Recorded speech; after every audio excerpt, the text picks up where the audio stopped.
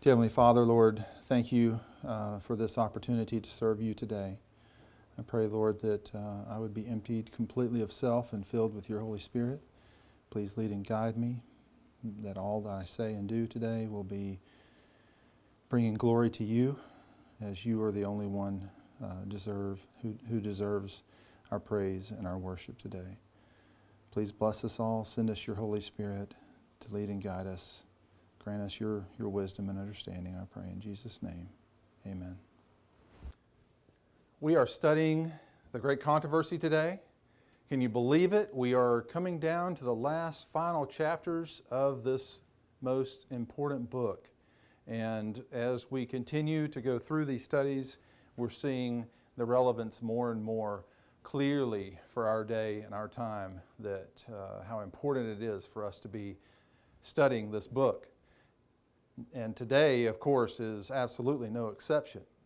Today's study, we are going to see while the underlying message there uh, is very concerning, there is a great amount of hope.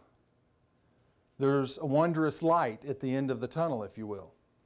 And so I want us to try to, even though the, the, the theme is somewhat sad, it seems, let's focus on the positive aspect of it, the light that is at the end of the tunnel, and the glorious day that will be coming after this time of darkness. And so let's go ahead and get into this study here today. It's very, very important, and it's, it's just really awesome that we are so fortunate to have this information so that we know it's kind of like it's kind of like you know we can see the end from the beginning because of our prophets right? That's what that's what the good news the word the bible is all about showing us what is going to happen in the end. And the beautiful thing about the, the book the great controversy is it just magnifies the information so that we see an even clearer picture of what's going to happen so, a lot of intricate details here today about what is just before us, I believe. The time of trouble, the time of trouble. Where does it all begin here? It begins at the beginning uh, of here at the beginning of the chapter. We see that we are quoting from Daniel chapter 12 and verse 1. At that time shall Michael stand up the great prince, which standeth for the children of thy people, and there shall be a time of trouble, such as never was since there was a nation, even to that time. And at that time thy people shall be delivered, every one that shall be found written in the book. Great Controversy 613. So what does, what does Michael mean? Who is Michael? What does Michael mean? He's like God one that is like God. And to go on a little bit further, we see in Revelation 12 7, and, and there was war in heaven. Michael and his angels fought against the dragon, and the dragon fought and his angels. So again, we see that Michael is going up against a dragon. Again, we see the word dragon. And what is dragon a reference to? That's got to be Satan, right? 12.9. It, it uh, spells it out real clear, Revelation 12.9. So, but it's Michael and his angels, okay? And then the next text here I want to look at is Jude 9, Michael the archangel. It tells you a little bit more specifically who Michael is. We need to know who Michael is because there will come a time, and for me, uh, there's already been a time where people will say, Well, who is Michael? There's a lot of confusion, even within leaders in denominations that, that uh, they don't understand who Michael is. I was even told that Michael was um, really Gabriel. So, you know, there's some confusion there. But it's clear that Michael is the archangel. Now, what, does, what is an angel? What is an angel? An angel is really just a messenger. That's what, that's what it is. But he is the archangel, which means he is the chief, right? The superior angel. When contending with the devil, he disputed about the body of Moses, durst not bring against him a railing accusation, but said, The Lord rebuke thee. So again, Michael can uh, rebuke Satan. Michael obviously has power a lot of power. 1 Thessalonians 4:16 For the Lord himself shall descend from heaven with a shout with the voice of the archangel. So who is the archangel? It's Michael, right? Okay? And with the trump of God and the dead in Christ shall rise first. Let's see if we can figure out clearly from scripture because after all Isaiah 28:10 says what? Precept upon precept, precept upon precept, line upon line, line upon line, here a little and there a little, right? That's the way we're supposed to study the Word, the Scriptures. So the Lord Himself, He descends and with the voice of, an arch- of, the, of the archangel, He blows the trumpet and the dead in Christ arise first. So that's going to be the second coming, right? The second coming. Now we look at John 5 and verse 25 Verily, verily, I say unto you, the hour is coming, and now is, when the dead shall hear the voice of the who? Son of God. And who is the Son of God? Jesus, right? And they that hear shall live. Marvel not at this, for the hour is coming in the which all that are in the graves shall hear his voice and shall come, come forth, they that have done good unto the resurrection of life, and they that have done evil unto the resurrection of damnation. So we see clearly that this is the second coming. Well, what does it mean when he stands? Because right here, going back to the first paragraph in the Great Controversy, chapter uh, 39, we see at that time, shall Michael stand up? What, what does it mean when he stands up? Well, let's look. And also, I'm going to continue on here and look, and there shall be a time of trouble. So he stands up, and there's a time of trouble. Well, Hebrews 1 3, we see who being the brightest of his glory and the express image of his person, and upholding all things by the word of his power, when he had by himself purged our sins. And who was that? Jesus. He purged our sins. And then what did he do after he purged our sins? he sat down on the right hand of the majesty on high. He sat down at the right hand of God the Father, right? Clearly, that's what the scripture says. Okay? So, what is he doing when he's setting down, when, he, when it says he sets down by the Father? He's intercessing for us, right? He's still intercessing for us. Romans 8 and we see that clearly here, Romans 8:34, who is he that condemneth? It is Christ that died, yea rather that is risen again, who is even at the right hand of God, see? Who also maketh intercession for us. So while he's on, the right hand of God sitting, he's still making intercession. Okay, is that clear? But then what happened? What happened when he stood up? Do we have any biblical reference for what happened when Christ stood up? Well, we see the stoning of Stephen here in Acts chapter 7, but he, and I put Stephen in there because that's who is being referenced here, being full of the Holy Ghost, looked up steadfastly into heaven. So, what was he full of? The Holy Spirit. And he looked steadfastly into heaven and saw the glory of God and Jesus standing on the right hand of God. So now he has stood up. He's no longer sitting by the Father, he has now stood up and said, Behold, I see the heavens open and the Son of Man standing on the right hand of God. Whenever we see God or Jesus stand up, that means that something is finished. A judgment of types is finished. And what was finished at this point? Well, Stephen's life, yes. Yes, he, he died in 34 AD. But what finished? What was, what was finished there at that time?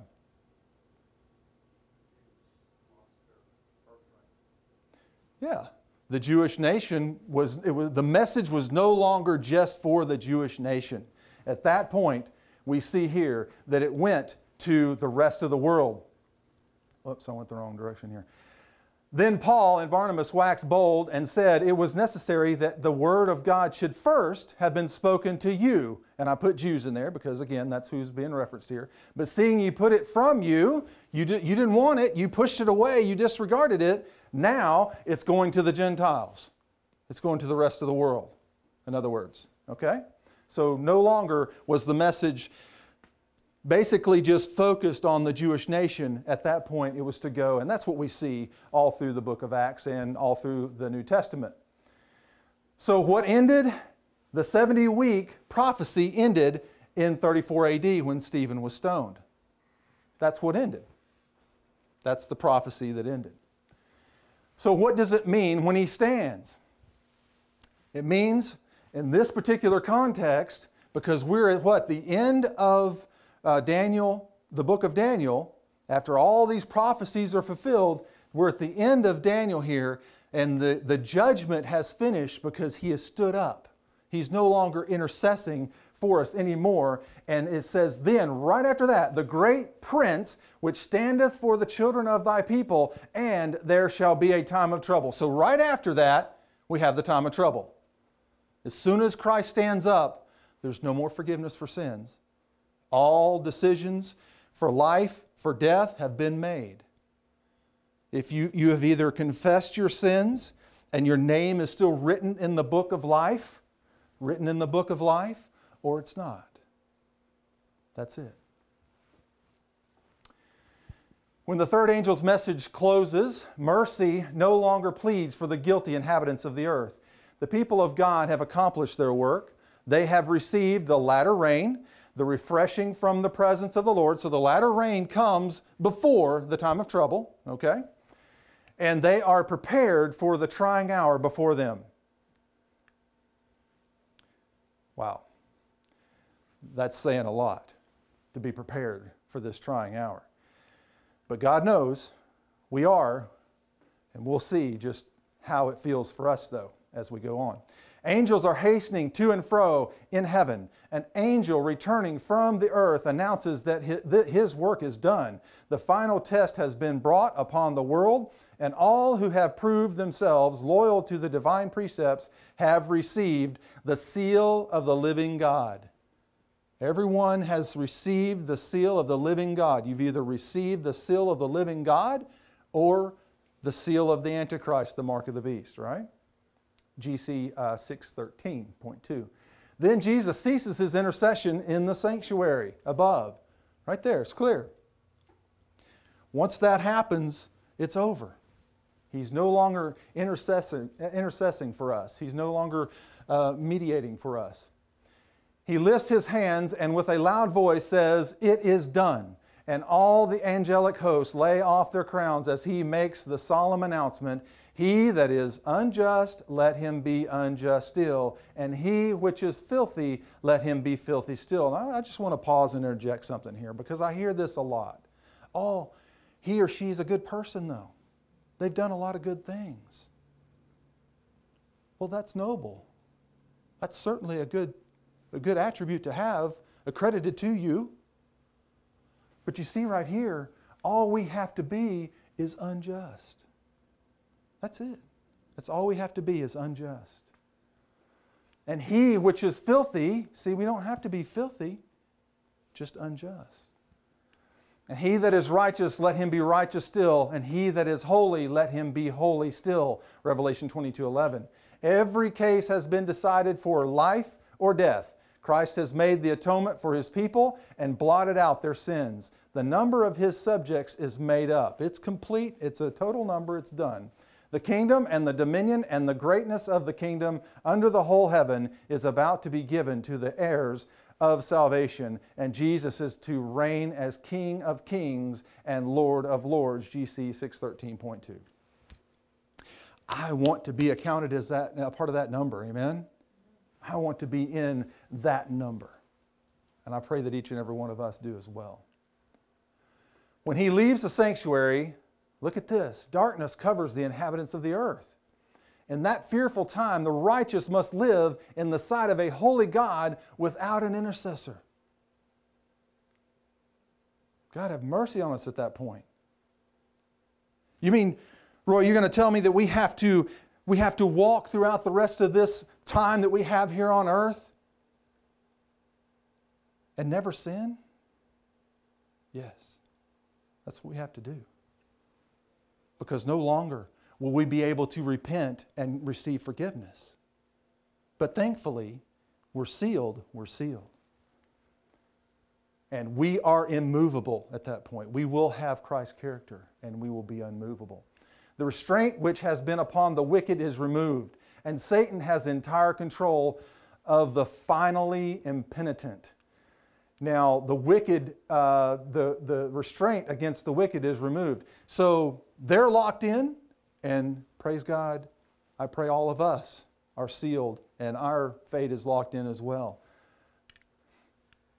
And Satan has entire control of, of this world at that point. Uh, I shouldn't say that. Let me back up. He has entire control of what God allows him at that point. God's long suffering has ended. The world has rejected his mercy, despised his love, and trampled upon his law. The wicked have passed the boundary of their probation. The Spirit of God, persistently resisted, has been at last withdrawn. So the Spirit of God, the Holy Spirit, is removed from this world. I, I, I reflect again on the story of Job. How quickly, when God removed his hand from protecting Job, how fast did he lose everything? Almost instantaneously. Satan will then plunge the inhabitants of the earth into one great final trouble. There it is. As the angels of God cease to hold and check the fierce winds of human passion, all the elements of strife will be let loose. The whole world will be involved in ruin more terrible than that which came upon Jerusalem of old, more terrible than that awful scene that we see in the destruction of, of Jerusalem in AD 70, GC uh, 614. A single angel destroyed all the firstborn of the Egyptians and filled the land with mourning. Remember that. One angel did all of that. When David offended against God by numbering the people, one angel caused that terrible destruction by which his sin was punished the same destructive power exercised by holy angels when God commands will be exercised by evil angels when He permits. Mercy. Mercy. Those angels have as much power, or nearly as much power, to destroy as God's angels do. I mean, are we, are we getting a, a grasp of the reality of this? It's huge. There are forces now ready and only waiting the divine permission to spread desolation everywhere. Those who honor the law of God have been accused of bringing judgments upon the world, and they will be regarded as the cause of the fearful convulsions of nature and the strife and bloodshed among men that are filling the earth with woe. And we've seen, we've already seen some inclinations of that. We've already seen some evidences that they are going to be, and they are accusing the Christians for these things. The, the, the good, um, uh, truly um, vested men and women of God. The power attending the last warning has engaged, enraged the wicked. Their anger is kindled against all who have received the, the message, and Satan will excite to still greater intensity the spirit of hatred and persecution. When God's presence was finally withdrawn from the Jewish nation, priest and people knew it not. Isn't that interesting? You see, when the stoning of Stephen happened, then the presence of God was removed from them. They didn't even perceive it, they didn't realize it. Look at what happens. Through, though under the control of Satan and swayed by the most horrible and malignant passions, they still regarded themselves as the chosen of God, even though they did not uh, any longer have that spirit among them, they still considered themselves the chosen of God. The ministration in the temple continued. Sacrifice was offered upon the polluted altars, and daily the, the, divine blessing was invoked upon a people guilty of the blood of God's dear Son and seeking to slay his ministers and apostles. So, what are they doing? They're looking to slay the good, right? The good uh, men working in the world, trying to uh, do a good work, and so the, the, the good seed. So, when the irrevocable decision of the sanctuary has been pronounced and the destiny of the world has been forever fixed, the inhabitants of the earth will not will know it not. It's going to happen again. The same thing is going to happen again. The forms of religion will, will be continued by people from whom the Spirit of God has been finally withdrawn, and the satanic zeal with which the Prince of Evil will inspire them for the accomplishments of his malignant designs will bear the semblance of a zeal for God. So they'll still appear as though they have a great zeal for the Lord and be going about and trying to do His work. But the Spirit's not with them. Another Spirit is actually with them, GC uh, 615. As the Sabbath has become the special point of controversy throughout Christendom, and religious and secular authorities have combined to enforce the observance of the Sunday, the persistent refusal of a small minority to yield to the popular demand, what what size is it? It's a small minority. Now, I just, I just want that to kind of sink in for a second. It's not going to be the masses of people. If you're following the masses, if you're following a large majority, please beware. Please beware. It will be urged that the few who stand in opposition to an institution of the church and a law of the state ought not to be tolerated. So, what is this? Church and state. Church and state combining, right? That it is better for them to suffer than for a whole nation to be thrown into confusion and lawlessness. The same argument many centuries ago was brought against Christ by the rulers of the people. It is expedient for us, said the wily Caiaphas, that one man should die for the people, and that the whole nation perish not. It would be better for Christ to be killed and slain than for the rest of the nation to perish. That is going to be the same argument placed against us who stand for the truth at the end of time. Okay?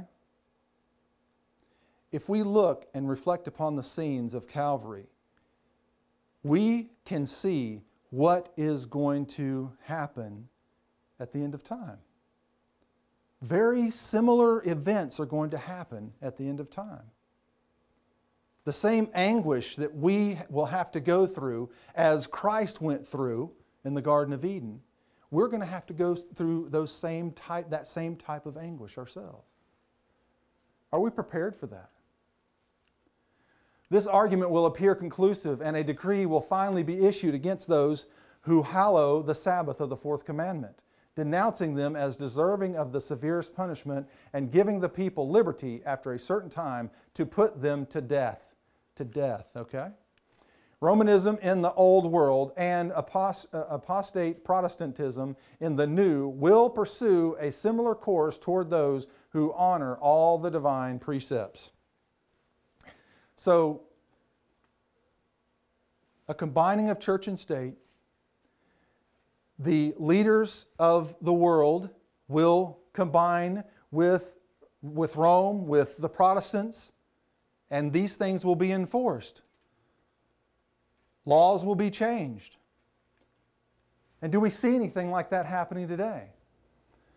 Well, as a matter of fact, just here uh, this, this past week, August the 2nd, we find that Pope Francis changes Catholic Church teaching on death penalty, declares it inadmissible, which this is really a bunch of smoke and mirrors, honestly. But still, he's claiming to be able to override the laws of the land, and I believe he has the power to do that, right? But he says the Vatican said the pontiff uh, approved a change to the Catechism, which gives worshipers a go to guide for official Catholic Church teachings on subjects ranging from the sacraments to sex. Previously, the Catechism said the Church didn't exclude capital punishment if this is the only possible way of effective, effectively defending human lives against the unjust aggressor. So they are controlling things, in essence we like to brush it off like, ah, that's just the, that's just the Roman Catholicism, ah, whatever. They're not really in charge of us. But are we not seeing how closely connected our government is with Rome itself? We are. And what happened in history that uh, was also celebrated here just recently? July 14, Bastille Day. July the 14th. You have any idea what Bastille Day is? Anyone? Well, if we look at the great controversy in the French Revolution, um, the um, chapter on the French Revolution, uh, we will see that it begins with, in 1570, it begins with the St. Bartholomew Massacre, the most hideous of all massacres. Thousands of Protestants were slaughtered. A bell rang in the middle of the night, and, and that was, the, that was the, the clue or the, um, the tip to go ahead and start slaughtering all of these Protestants. The blood ran through the street, thousands were killed. And then it led up to uh, July 14, 1789. And they had the Bastille Day. This was, this was when they are, this is, a celebration in France of their going to a, a new secular society. The celebration, the worship of the goddess of reason. But going back to the, um, that uh, St. Bar- Bartholomew massacre, when the news of the massacre reached Rome, the exultation among the clergy knew no bounds. GC uh, 272.3. Do you see the connection there? The country of France, working in cahoots with Rome, they, did, they, they, they manifested this grand slaughter. And they actually uh, stamped a coin in commemoration of it. And it all comes down to a worship of the goddess of reason. That's what this Bastille Day is all about. And there's some confusion as to where it all comes down to, but ultimately, who really benefited from this revolution of the French. Who really benefited? Look at this. The flourishing of the revolution really uh, comes down to the Jesuits. Speaking of the history of France, just before the revolution, the historian von Holst said, The Jesuits alone flourished in the decaying nation and ruled with dreadful tyranny over churches and schools, the prisons, and the galleys. Great Controversy 279. So, who really flourished? The Jesuits. And, and, and re- refresh my memory, who, uh, what, what kind of uh, pope do we have right now? A Jesuit pope. So they made it appear as though, because you, you know, in, in 1798 is when you know the Pope was taken exiled and, and, and died in exile. Uh, the Pope was taken captive. But really, that was the insurgence of the, the, uh, the Jesuit movement. They really flourished and prospered during that period of time. They took out the front man, but underneath was work, the workings of the Jesuit um, society, secret society, ultimately. And you may think, well, what does that have to do with uh, the rest of the world? That's just in France, it's no big deal, right? Well, look at this um, Bastille Day celebrations in other countries. This comes from Wikipedia Belgium, Canada, uh, the Czech Republic, Hungary, India, Ireland, New Zealand, South Africa, United Kingdom, and the United States. Mercy. United States, Baltimore, Boston, Cape Vincent, New York, Chicago, uh, Dallas, Dallas, Texas, Houston, Texas, Miami, all these different places all over our country celebrate this Bastille Day. Do you see how this can come together really quickly and manifest something very demonic? How the powers that be in the world today are, are really working almost in a disguise, or not almost in a disguise, they are in disguise. But you know, the fact that the simple fact that we have a, a Jesuit, an openly Jesuit Pope now, some of those disguises, they don't really need them anymore. Why is that? It's because the world is becoming more and more loving towards this group of people. Milwaukee, Minneapolis, Montgomery, Ohio, New Orleans, Orlando, Philadelphia, Oregon, California, Seattle, St. Louis. It's all over our country. All over. The people of God will then be plunged into those scenes of affliction and distress described by the prophet as the time of Jacob's trouble. Now, what was Jacob's trouble? What did he do? He deceived his brother.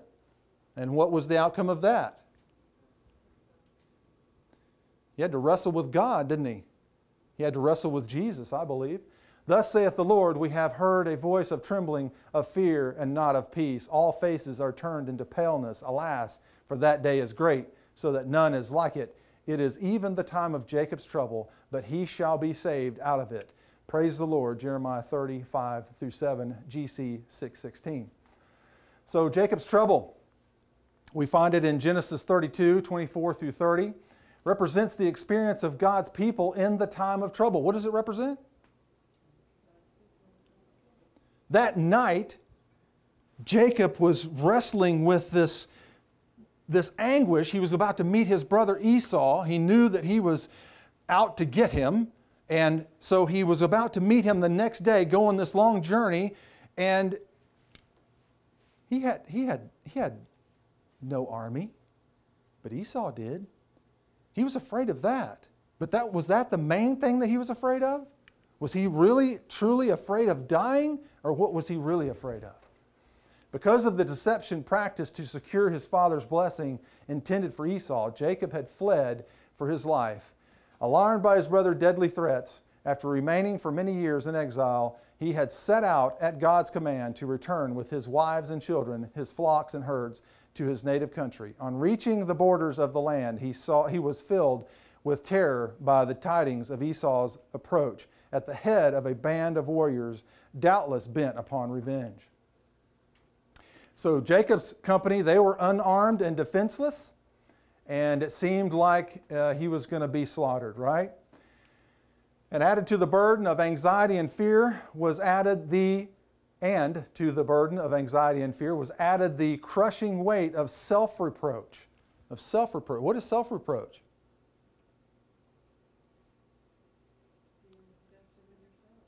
Yeah, you're disgusted with yourself.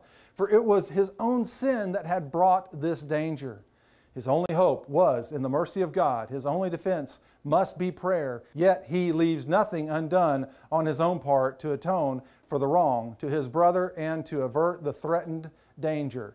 So should the followers of Christ as they approach the time of trouble. We need to make every exertion to cleanse ourselves and, and free ourselves from any sin. Place them all on the altar, place them all before Christ at his feet. Get forgiveness for sin. Plead with Him for that so that, that we don't have to, to uh, fear this same destruction.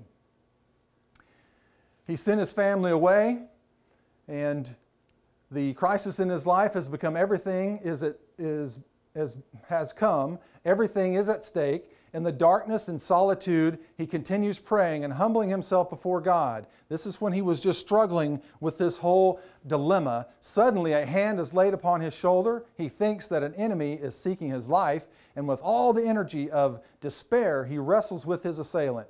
As the day begins to break, as the day begins to break, remember that. It's very important. The stranger puts forth his superhuman power. At his touch, the strong man seems paralyzed and he falls a helpless, weeping suppliant upon the neck of his mysterious antagonist. So Jacob knows now that it is the angel of the, uh, of the covenant with whom he has been in conflict. Through disabled, though disabled and suffering the keenest pain, he does not relinquish his purpose. So he's suffering dire pain because of being touched on this, uh, uh from, the, from, the, uh, from this uh, stranger in the night and he's got this great pain in his leg, but the pain is not the problem. That's not what he's, what he's really wanting to be relieved from. You see, long has he endured perplexity, remorse, and trouble for his sins. Now he must have the assurance that it is pardoned. That's what he's struggling for. That's what he wants to make sure of, that his sins are forgiven him.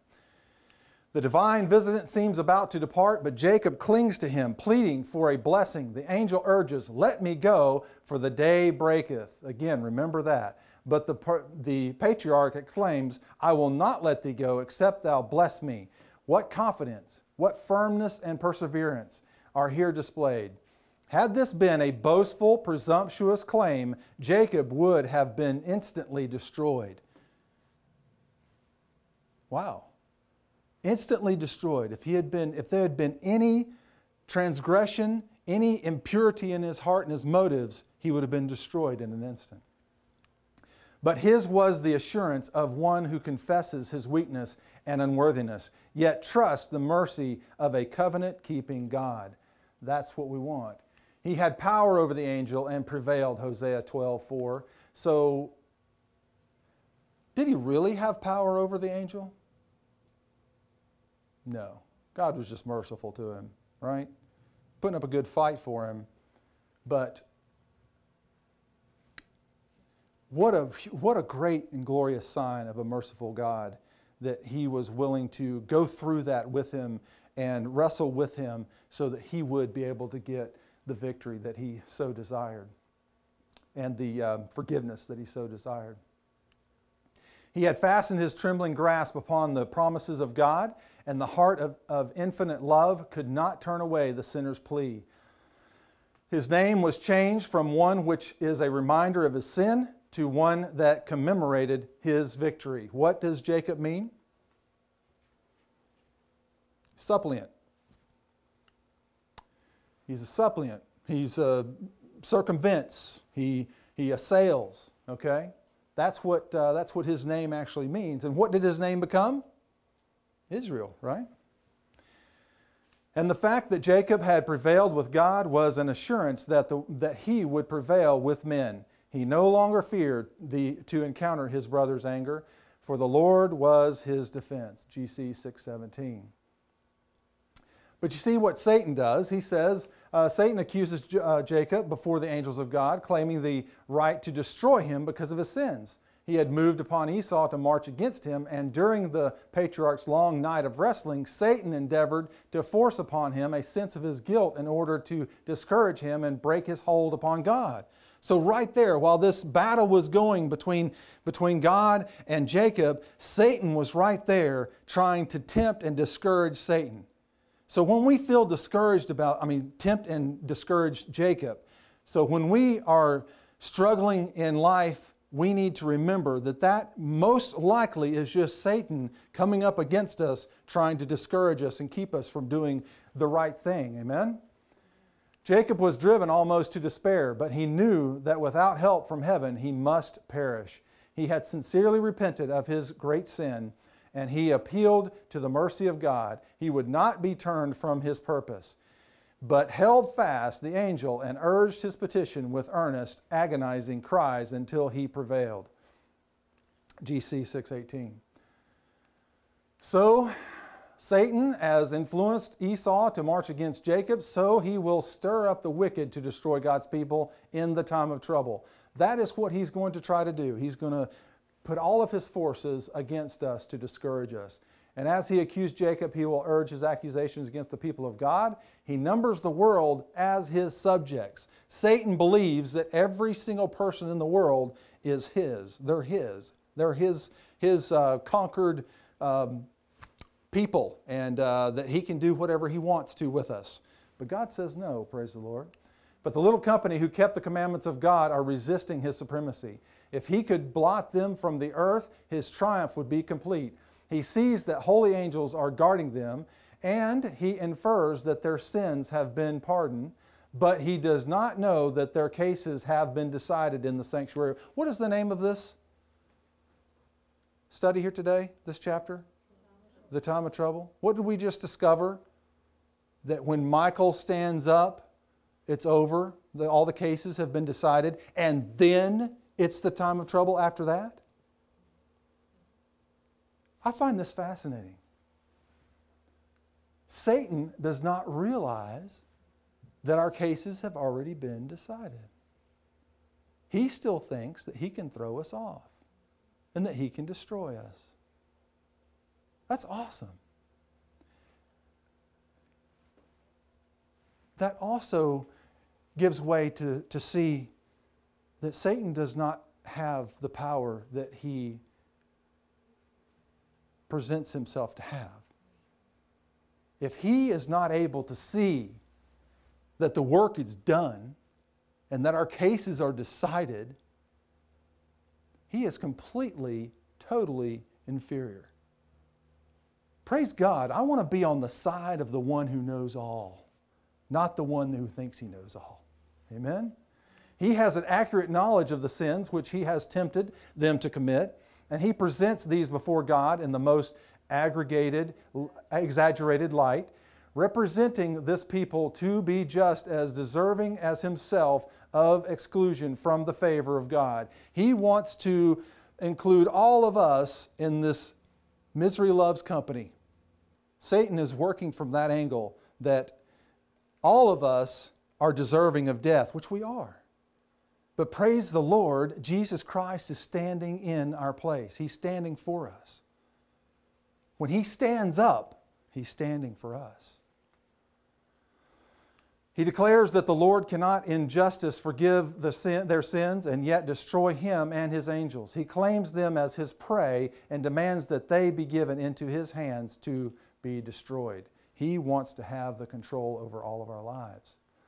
As Satan accuses the people of God on account of their sins, the Lord permits him to try them to the utter, uttermost.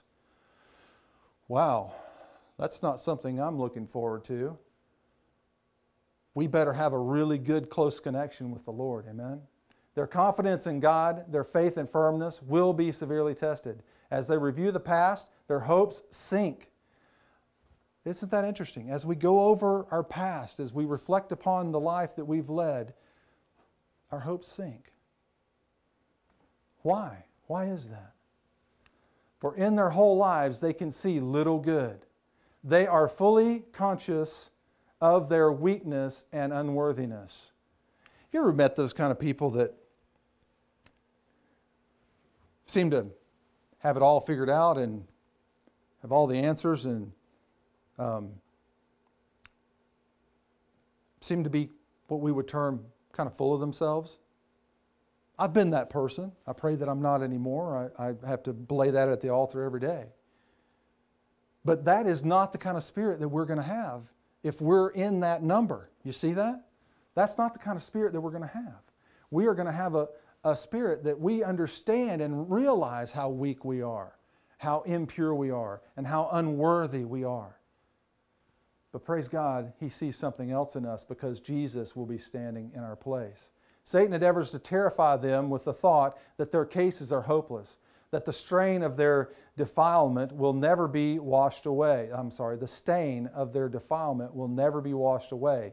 He hopes so to destroy their faith that they will yield to his temptations and turn from their allegiance to God. GC 618. Though God's people will be surrounded by enemies who are bent upon their destruction, yet the anguish which they suffer is not a dread of persecution for the truth's sake, they fear that every sin has not been repented of. You see how that is? This is very similar to what Jacob's trouble is all about, right? Remember? It didn't, he didn't care so much about the pain that he was in. He didn't care so much about the, the fact that he was going to be facing his brother. His main concern was that he was not fully forgiven. He wanted that forgiveness. And so it will be with us if we're accounted among that number, we want to be, we're going to be, our struggle, our great time of trouble is going to be that we are struggling with, and, and, and the conflict in our mind is going to be have we repented of every sin? Is my name still on the book in heaven? And that, through some fault in themselves, they will fail to realize the fulfillment of the Savior's promise. I will keep thee from the hour of temptation which shall come upon all the world, Revelation 3:10. He's going to keep us. We need to rely on him and count on his promises. If they could have the assurance of pardon, they would not shrink from torture or death. See, it doesn't matter. The torture and the death, that's not the important thing. But should they prove unworthy and lose their lives because of their own defects of character, then God's holy name would be reproached. They afflict their souls before God, pointing to their past repentance of their many sins and pleading the Savior's promise Let him take hold of my strength, that he may make peace with me, and he shall make peace with me. Isaiah 27 5. Their faith does not fail because their prayers are not immediately answered. You know, we like to have our prayers, we like to see it come to fruition right, right away. But the true believers of God, those, those ones that are sealed, they're not going to they're not going to lose their faith just because the prayers are not immediately answered. Though suffering the keenest anxiety, terror, and, terror, and distress, they do not cease their intercessions. They laid hold of the strength of God as Jacob laid hold of the angel. You see, we have that struggle, and we want to cling to God and His promises. That's why we need to be studying and reading the Word of God. I will not let, let thee go except thou bless me. Had not Jacob previously repented of his sin in obtaining the birthright by fraud, God would not have heard his prayer and mercifully preserved his life. So, in the time of trouble, if the people of God had unconfessed sins to appear before them while tortured with fear and anguish, they would be overwhelmed. Despair would cut off their faith, and they could not have confidence to plead with God for deliverance. But while they have a deep sense of their unworthiness, they have no concealed wrongs to reveal. Their sins have gone beforehand to the judgment and have been blotted out, and they cannot bring them to remembrance. That's, that's what I really like right there, that last part. They cannot bring them to remembrance. You know, when I reflect upon my life and the, some of the things that I've done, uh, I shudder. And it's going to be so wonderful to get to that point when those things are erased and I don't have to reflect upon them anymore. Anybody else feel that way? Am I the only one? Amen. 620, GC 620. Satan leads many to believe that God will overlook their unfaithfulness in the minor affairs of life. Boy, does he ever. But the Lord shows in his dealings with Jacob that he will in no wise sanction or tolerate evil of any kind. He's not going to do it. Clearly, we see that in that example. The more exalted their profession and the more honorable the position which they hold, the more grievous is their course in the sight of God. Who am I talking about here?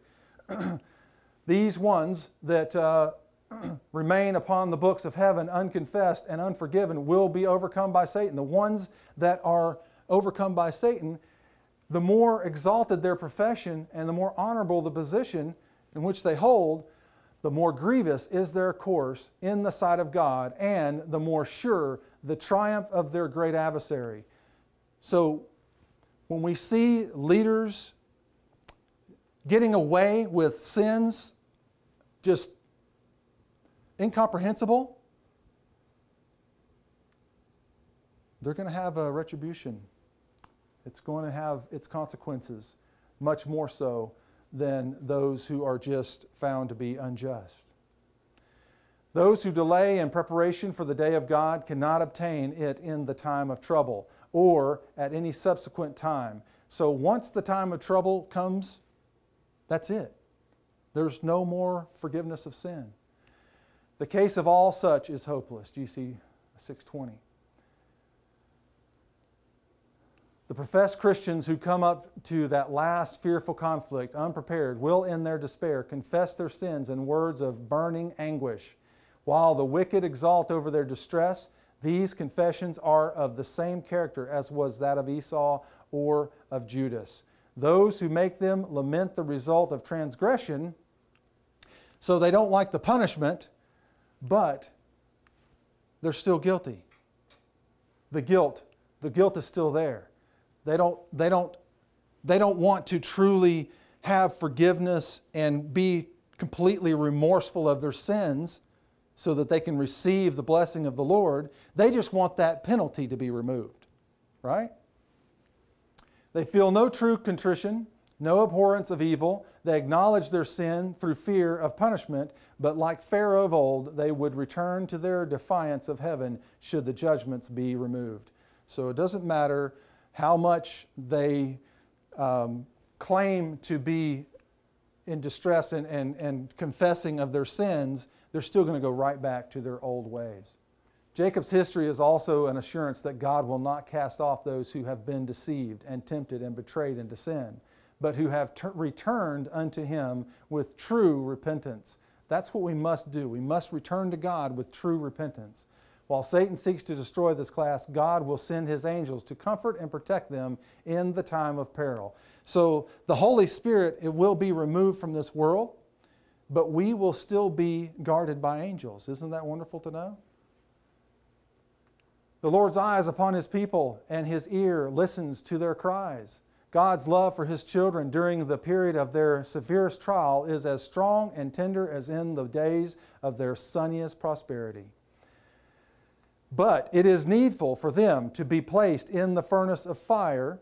Their, their earthliness must be consumed. Our earthliness must, the worldliness that is within us, it has to be burned off. It has to be consumed. That the image of what? the image of Christ may be perfectly reflected. We must have that perfect image of Christ in order to be saved. GC 621. The seasons of distress and anguish before us will require a faith that can endure weariness, delay, and hunger, a faith that will not faint through severe, though severely tried. Are we ready for that? Are we, are we, do we have that kind of a faith that's going to endure weariness, delay, and hunger? Hunger's tough. It's, it, it, it's not an easy thing to fast. You all fast? Between supper and breakfast? Hmm. I guess that's why they call it break fast in the morning. Yeah. No, I mean like fast. like really fast for a day or days. We need to be doing these things. That prepares us to be able to push aside that temptation to have, we must have food or we're just going to die right now. I mean, I've, I've heard these kind of testimonies from people. You know, one, uh, you know, the health message, part of the health message is that we should not eat late before we go to bed. And I remember we were at a, a church and there was a little skinny little woman um, and, and very frail. And she said, oh, I, oh no, I have to, I cannot go to bed hungry on an empty stomach. I have to eat before I go to bed. And in talking with her, bless her heart, I mean, I'm not, I, you know, I, I, I'm not passing judgment on her, but the interesting thing was she was extremely unhealthy. She was dying. And I can't help but think, you know, maybe Ellen White's right fasting is one of the, one of the best things to reverse disease. Just saying.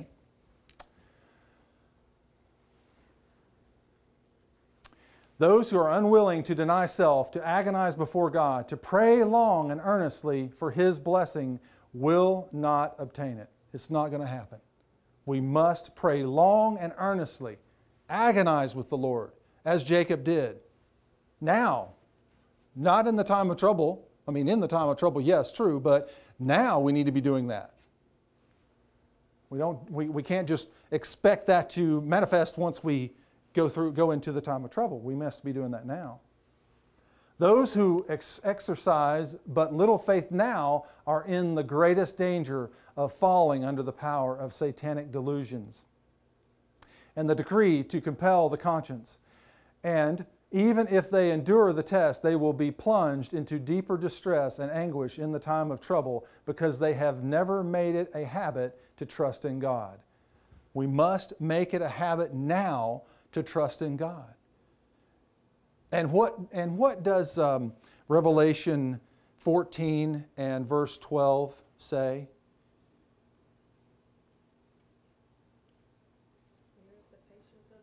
Yes.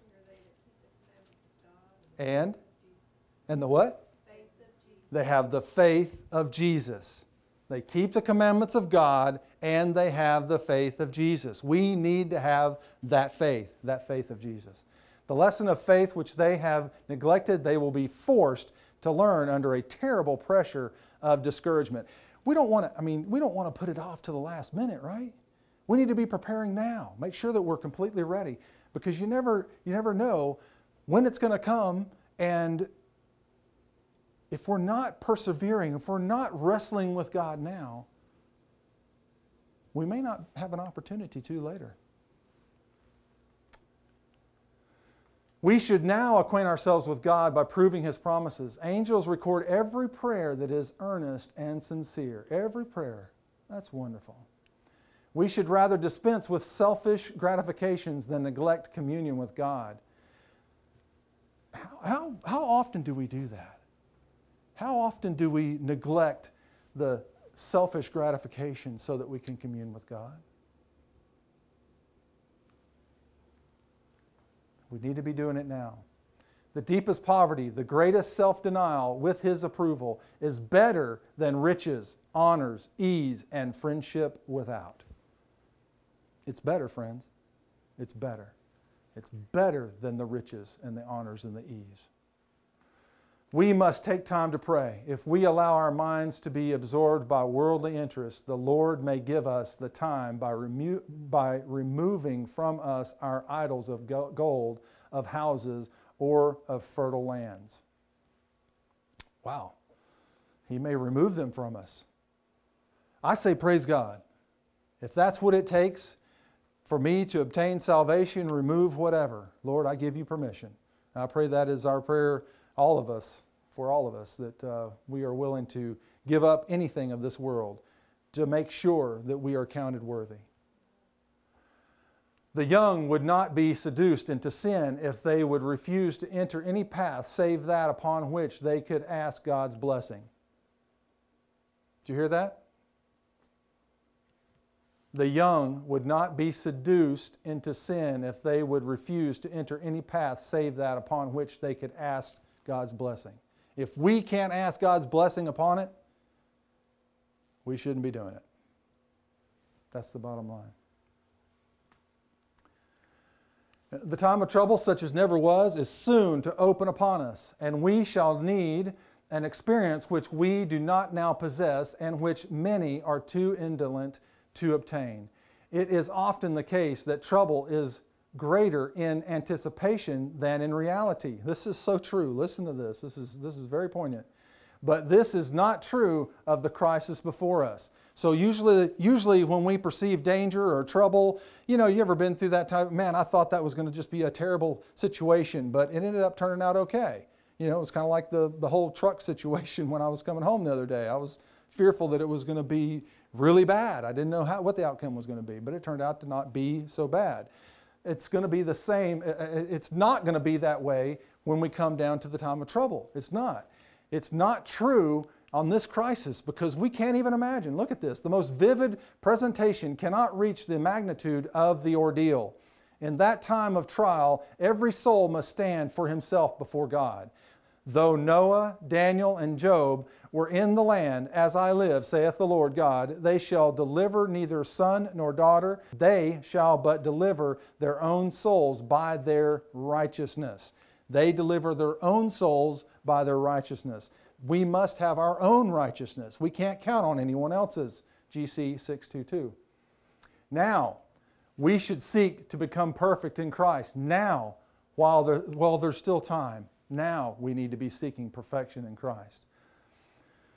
This is the condition in which those must be found who shall stand in the time of trouble, perfect in Christ.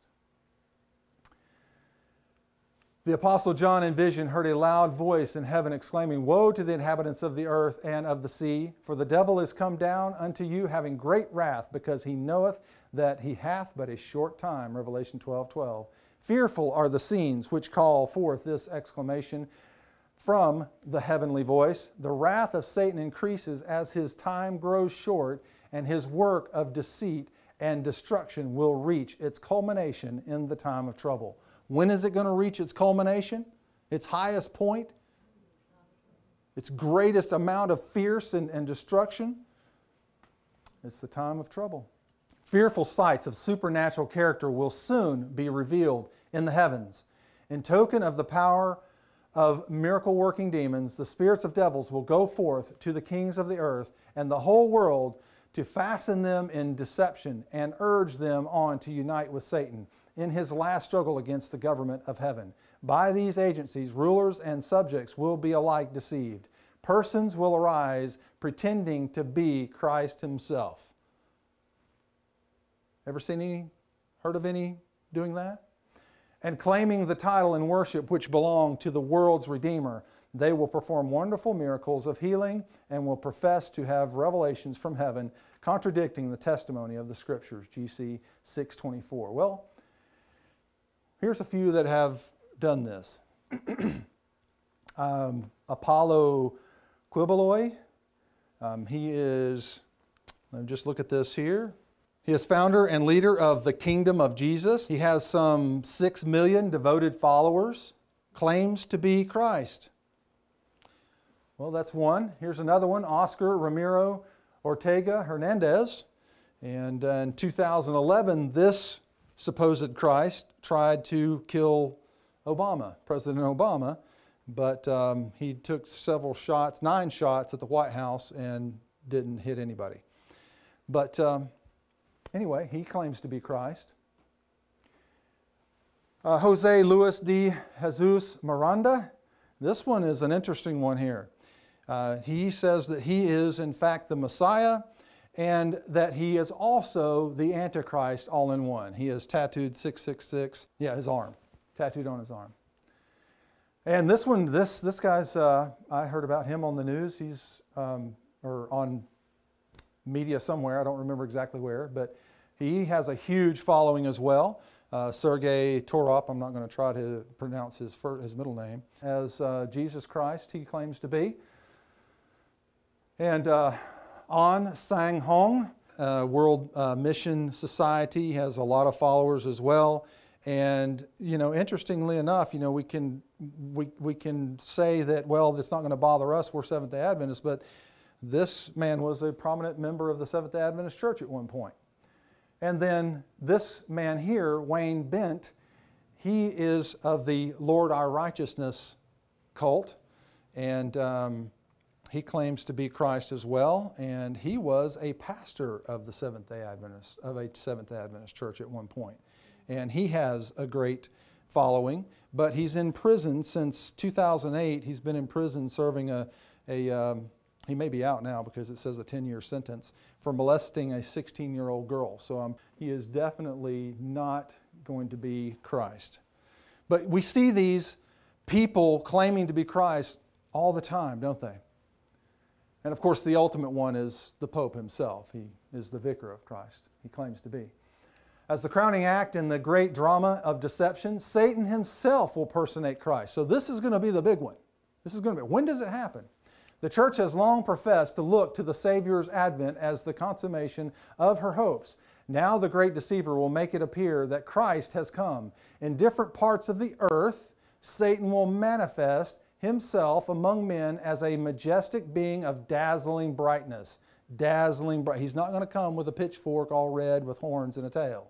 Okay? It's going to be dazzling brightness. And look at that. He's, he's going to be in different parts of the earth. Hmm.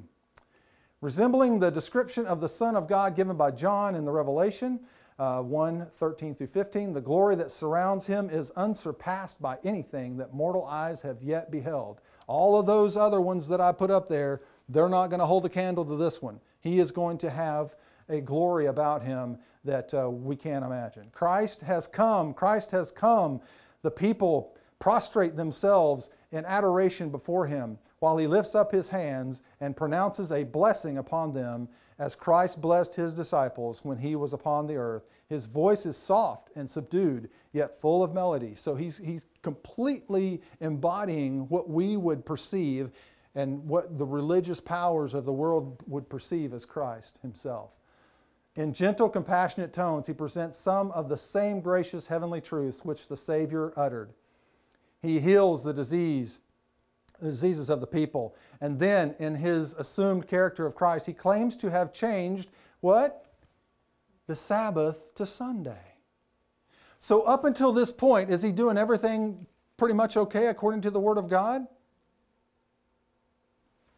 He has.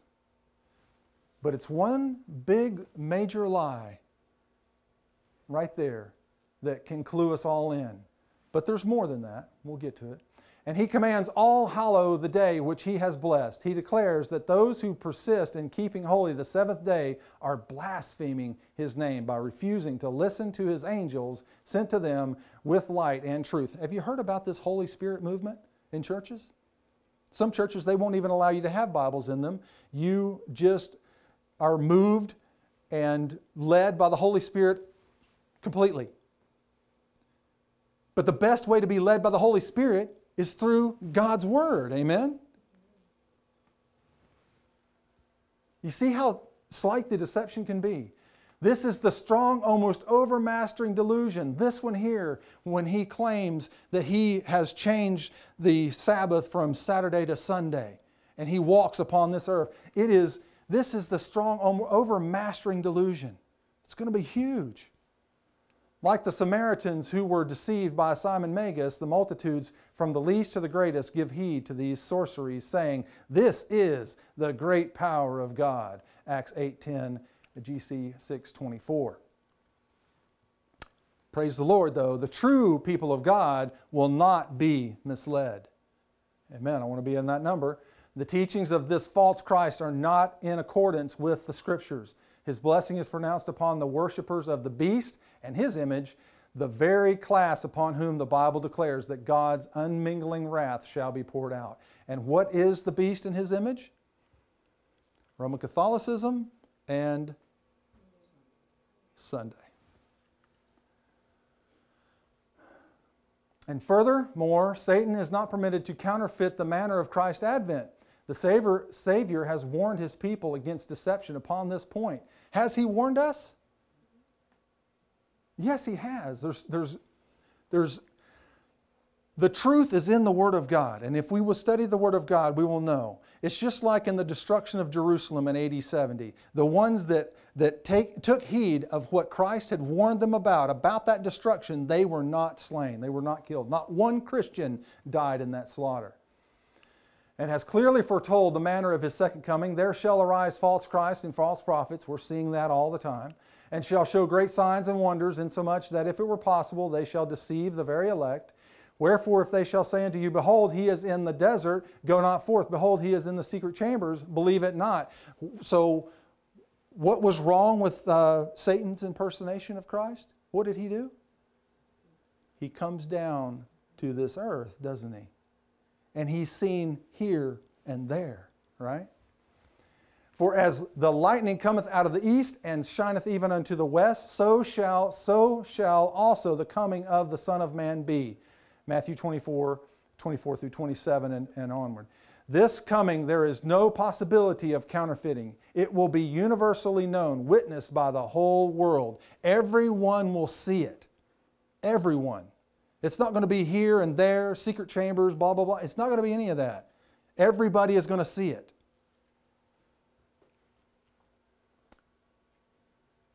His feet will not touch the earth. Remember that. That's very important. 1 Thessalonians 4:17, then we which are alive and remain shall be caught up together with them in the clouds to meet the Lord in the air, and so shall we ever be with the Lord. We will rise up off of this earth and meet him in the air. He is not going to be coming down to this earth and walking this earth like he did the first time. His second advent, we are going to come up to him to meet him. Remember, it's very, very important. That is, the, that is going to be the, the greatest point of deception coming into all of this. Because people are going to exclaim, oh, wow, he's, he's, he's, there he is, he's over here, he's got this glory, you know, all this majesty and all this power. He's forgiving people sins, he's healing their sicknesses and diseases, he's doing mighty and wonderful wonders. Don't be deceived. We will not see Christ walking on the earth, we will go up to meet him. Only those who have, diligent, uh, uh, have been diligent students of the Scriptures and who have received the love of the truth will be shielded from the powerful delusions that takes the world captive. Cling to the Bible and the Bible only. Satan will, if possible, prevent them from obtaining a preparation to stand in that day. Don't let Satan steal away your salvation. Don't let him do it. Study the Word. as the decree is issued by various rulers of Christendom against commandment keeping keepers, shall withdraw the protection of government and abandon them to those who des- desire their destruction. So, while the Holy Spirit is being withdrawn, the protection from our governments will be withdrawn from us. Do you see how that goes? So basically, Satan will be pulling away his protection from us, while God is pulling away his protection from them. Interesting. the people of God will flee from the cities and villages and, and associate together in companies dwelling in the most desolate and solitary places. Many will find refuge in the strongholds of the mountains. That's what we need to be preparing for. The beloved of God pass weary days, bound in chains, shut in by prison bars, sentenced to be slain, some apparently left to die of starvation in dark and loathsome dungeons. No human ear is open to hear their moans, no human hand is ready to lend them help. But don't get despair, there's good news. Will the Lord forget his people in this trying hour? Well, did he forget Noah, the faithful Noah, Lot, Joseph, Elijah, Jeremiah, the three worthies in the fiery furnace, Daniel in the lion's den? No, he didn't. He didn't forget any of them, and he won't forget us either. Praise the Lord. Though the armies may thrust them into prison, yet dungeon walls cannot cut off the communication between their souls and Christ. We don't have to worry about uh, cell phone reception, reception here. We're not going to have to worry about cell phone tower reception with God. Our communication with Him will always be there. We never have to worry about that. We know that He can hear us and He sees us and He is watching and He is keeping, keeping uh, account of everything that is happening and He is leading us through His angels and keeping us safe. It's a beautiful promise. The prison will be as a palace for the rich and faith dwell there. The rich in faith dwell there. The prison will be a palace. I love how that's worded. So, no matter where we are, even if we're in a dungeon or a pit or a, a prison or a jail, whatever it is, the rich dwell there, so it's as a palace. Right? Isn't that neat? And the gloomy walls will be lightened up with the heavenly light, as when Paul and Silas prayed and sang praises at midnight in the Philippian dungeon. Doesn't matter where we are, God will be there with us. GC 627. God's judgment will be visited upon those who are seeking to oppress and destroy his people. His long forbearance with the wicked emboldens men in transgression, but their punishment is nonetheless certain and terrible because it is long delayed. You know, so, you know, I, I mentioned this earlier. Why is it that these evil people can, they just seem to prosper? You know, no matter how, it almost is like, uh, uh, I've actually heard people say this. You know, I chose to go that route because I looked at the wicked, the ones that were doing the evil, and they were prospering and I wasn't. So, switching sides to follow them because they're prospering, they're doing well. We need to be careful when we, even within church circles, people claiming that the Lord is blessing them with all this and that, and they have all these riches and so forth. I'm not saying that he doesn't ever bless people that way. Obviously, he did Job and others, and, and, and Joseph and others. But what I'm saying is, we need to be really careful when we even look at those people because how are they living their life? We can't see behind closed doors. We don't know. We need to make sure that we are not looking to other men and women, that we are only looking to Jesus. And it doesn't matter if we're, we're in a pover, poverty or impoverished lifestyle or not. As long as we are in God's will, in His way, we're, we're good. We're royalty. We're heirs to the kingdom. Amen? His long forbearance with the wicked emboldens men in transgression, but their punishment is nonetheless certain and terrible because it is long delayed. The Lord shall rise up as Mount Perazim. He shall be wroth as in the valley of Gibeon, that he may do his work, his strange work, and bring to pass his act, his strange act. What is his strange act? The extinguishing of life of the wicked. That is a very strange act for God, isn't it? To our merciful God, the act of punishment is a strange act. As I live, saith the Lord God, I have no pleasure in the death of the wicked. Now, there's people out there, there's a big movement even among Seventh day Adventists that God does not punish. That's a bold faced lie. That is a deception. God does punish. He does. The Lord is merciful and gracious, long suffering, and abundant in goodness and truth, forgiving iniquity and transgression and sin. GC 627. Yet he will by no means clear the guilty. The Lord is slow to anger and great in power and will not at all acquit the wicked. Exodus 34 6 and 7 the nation with which he bears long and which he will not smite until it has fulfilled up the measure of its iniquity in God's account, will finally drink the cup of wrath mixed with mercy. GC 627.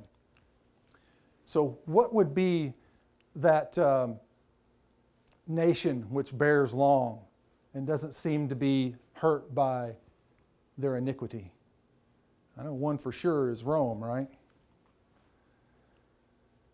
When Christ ceases his intercession in the sanctuary, the unmingled wrath threatened against those who worship the beast in his image and receive his mark in Revelation 14 9 and 10 will be poured out. Have no mistake about it. It will happen.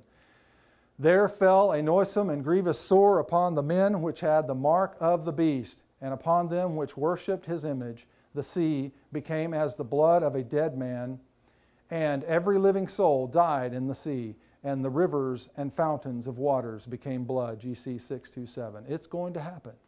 They will receive their due punishment. Terrible as these inflictions are, God's justice stands fully vindicated. Fully vindicated. God's justice is fully vindicated always. The angel of God declares, Thou art righteous, O Lord, because thou hast judged thus.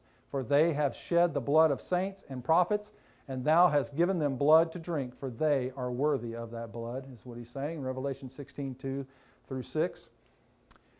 In like manner, Christ declared the Jews of his time guilty of all the blood of holy men which had been shed since the days of Abel. Isn't that interesting?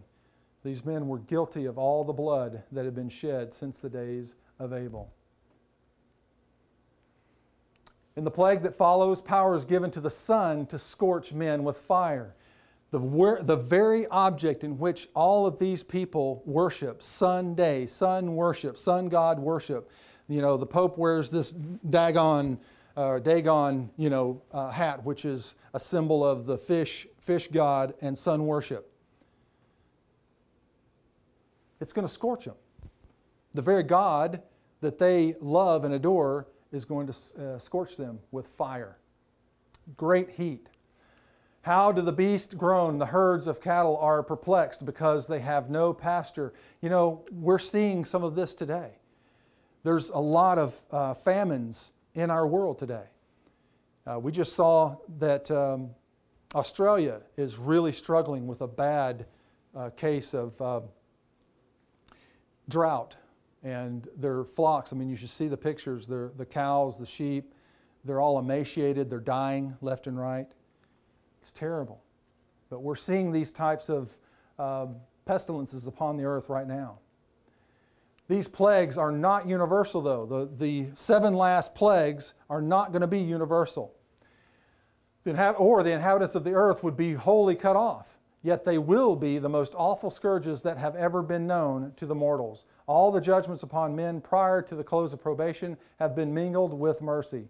The pleading blood of Christ has, shed, has shielded the sinner from receiving the full measure of his guilt. But in the final judgment, wrath is poured out unmixed with mercy. No more mercy. God's wrath is going to be poured out, poured out full strength. I don't want to be a recipient of that. In that day, multitudes will desire the shelter of God's mercy, which they have so long despised. They've been pushing it away for so long, but um, now they can't have it they should have taken uh, taken advantage of it when they could have. the people of God will not be free from suffering, but while persecuted and distressed, while they endure privation and suffer for want of food, they will not be left to perish. That God who cared that God who cared for Elijah will not pass by one of his self sacrificing children. He who numbers the hairs of their head will care for them, and in time of famine they shall be satisfied. Praise the Lord. That's a great promise. While the wicked are dying from hunger and pestilence, angels will shield the righteous and supply their wants. To him that walketh righteously is the promise bread shall be given thee, given him, his water shall be sure. When the poor and needy seek water, and there is none, and their tongue faileth for thirst, I, the Lord, will hear them. I, the God of Israel, will not forsake them. Isaiah 33, 15, 16, 41, and 17, and GC 629. The Lord is thy keeper, the Lord is thy shade. Because thou hast made the Lord, which is my refuge, even the Most High, thy habitation, there shall no evil befall thee, neither shall any plague come nigh thy dwelling. Psalms 121, 5 through 7. Yet to human sight it will appear that the people of God must soon seal their testimony with, with their blood, as did the martyrs before them. So it'll appear by the world's standard, it'll appear from these evil, wicked people of the world that soon we are all going to perish, those who are, are sealed in the, in the time of trouble. Their countenances express their internal struggle. Paleness sits upon every face, yet the, they cease not their earnest intercession. They continue to plead with the Lord. They do not stop, even though they may, they may look as though they're about to perish. They never stop crying out to the Lord. Could men see with heavenly vision, they would behold com- companies of angels that excel in strength, stationed about those who have kept the word of Christ patience. With sympathizing tenderness, angels have witnessed their distress and have heard their, their prayers. They are waiting the word of their commander to snatch them from their peril. But they must wait yet a little longer. And why? the people of God must drink of the cup and be baptized with the baptism. The very delay, so painful to them, is the best answer to their petitions. So remember when um, James and John came to Christ, and well, actually, they got their mother, uh, Salome, to go to Christ and, and ask Jesus if, if her sons could be one on the right and one on the left. And Jesus asked them a very important question. He said, Are you able to be baptized with the baptism that I'm about to be baptized with? They said, We are able. They had no idea what they were committing to, did they? But you see how, how we can see the parallels between what Christ went through and what we are going to have to go through. You see that? As they endeavor to wait trustingly for the Lord to work, they are led to exercise faith, hope, and patience, which have been too little exercised during their, their religious experience. So while we're going through this period of the time of trouble, this wrestling with God, as Jacob did, we are going to um, actually be ridding ourselves completely of the dross of the worldliness that is within us. It's for our own good we must have that experience in order to be uh, able to be able to be transported into heaven. The end will come more quickly than men expect. It's going to happen a lot faster than we even think. The wheat will be gathered and bound in sheaves for the garner of God. The tares will be bound as faggots for the fires of destruction. GC 630. The heavenly sentinels, faithful to their trust, continue their watch Though a general decree has fixed the time when commandment keepers may be put to death, their enemies will in some cases anticipate the decree, and before the time specified will endeavor to take their lives. So there's going to be a death decree. We're going to have a death decree placed upon us. It's going to be a, a, for a certain time, but some of those evil, wicked men are going to try to put us to death beforehand. And what happens? But none can pass the mighty guardian stationed about every faithful soul. Some are assailed in their flight from the cities and villages, but the swords raised against them break and fall powerless as a straw. I can't wait to see these things. I mean, it's going to be a dreadful time. And I don't know, maybe I shouldn't say I can't wait. But it's going to be interesting for these in these times when they are going to raise up ammunition against us, but it's going to fall and break and, and self destruct right before us.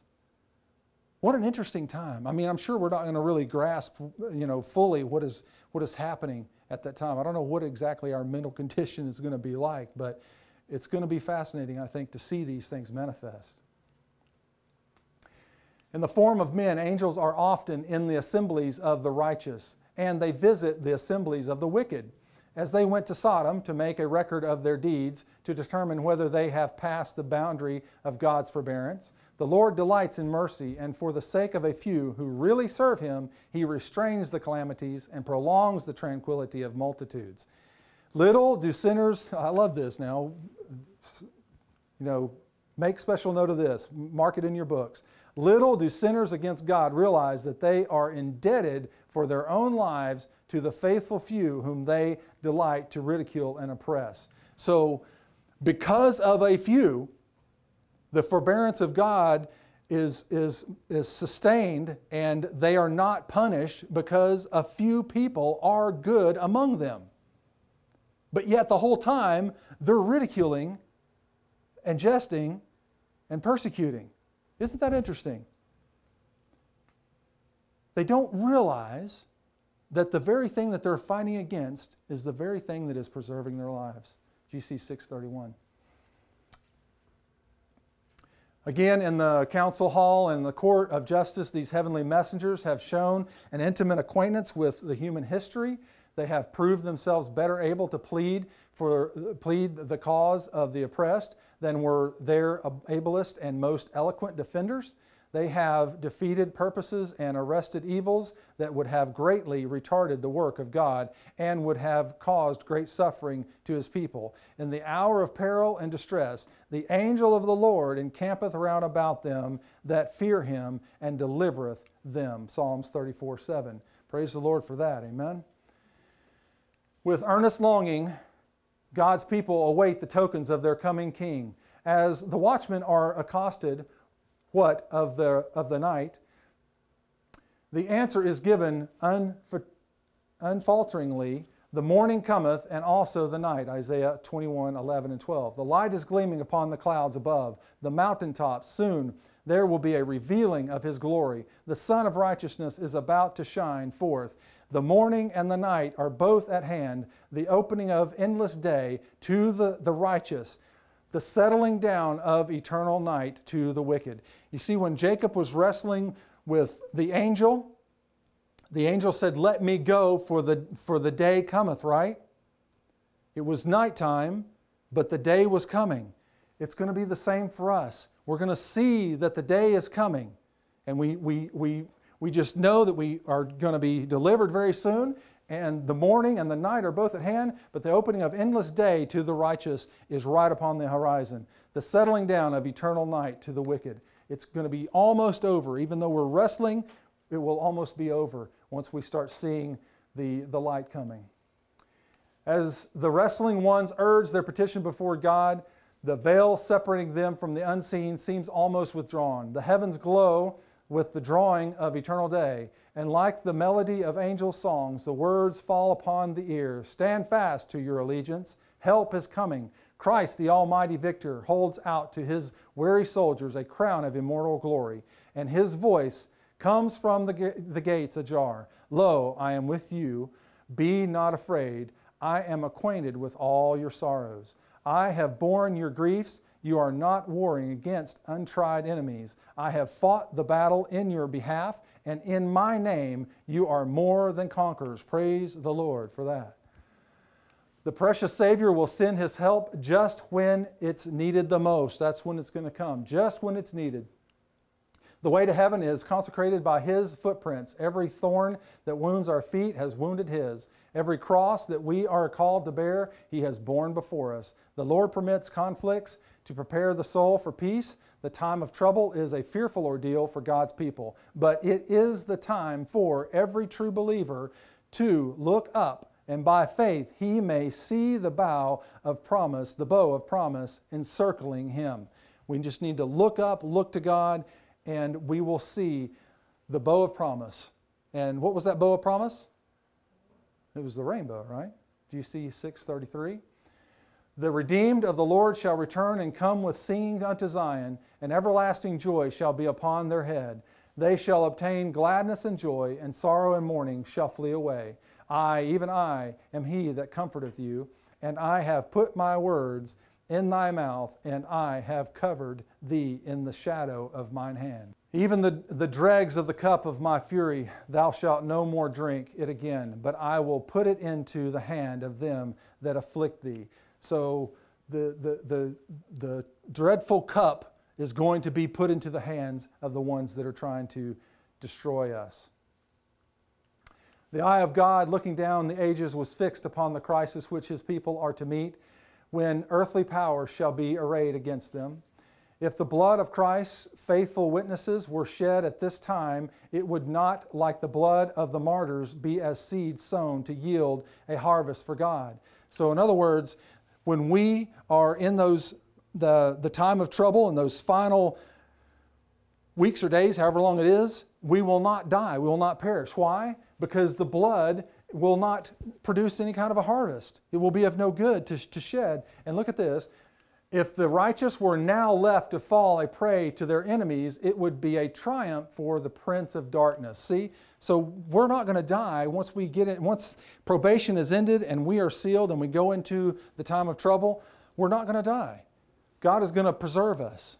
Praise the Lord. That's wonderful because our blood won't be seed. That's, all, that's, that's the the main reason why martyrs are killed today is to uh, be seed. Says the psalmist, In the time of trouble he shall hide me in his pavilion. In the secret of his tabernacle shall he hide me. Psalms 27 5. Christ has spoken, Come, my people, enter thou into thy chambers, and shut thy doors about thee. Hide thyself, as it were, for a little moment, until the indignation be overpast. For behold, the Lord cometh out of his place to punish the inhabitants of the earth for their iniquity. Isaiah 26, 20, and 21. Glorious will be the deliverance of those who have, have patiently waited for his coming and whose names are written in the book of life. We want to make sure that we are patiently waiting for his coming and that our names remain on the books of life in heaven. The Lamb's Book of Life, Revelation 21, 27 we want to make sure that we remain on that on those books our names and that we are accounted worthy to uh, receive the inheritance of everlasting life with our dear Savior Jesus Christ.